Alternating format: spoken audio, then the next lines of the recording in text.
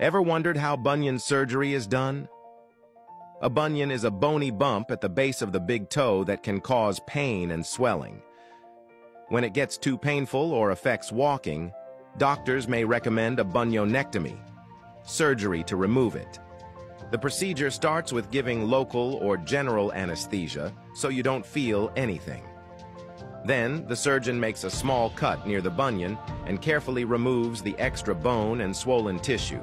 If needed, they realign the bones of the big toe using small screws or plates to keep everything in place. In some cases, the joint may be repaired or even fused, depending on how severe the bunion is. Once done, the incision is closed and the foot is bandaged. Recovery can take several weeks, but most people walk better and feel less pain afterward.